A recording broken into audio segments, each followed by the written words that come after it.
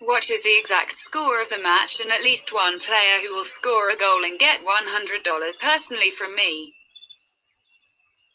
Leave the answers in the comments. Subscribing to the channel and liking the video are also required.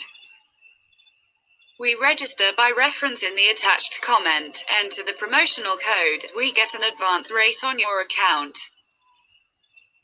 Republic of Ireland were on the verge of suffering a shocking loss to Bulgaria on Thursday evening, but thanks to Shane Duffy's late goal they eventually picked up one point from the match. The boys in green showed character in their Nations League opener, and they are now on a quest to record their first win of the process.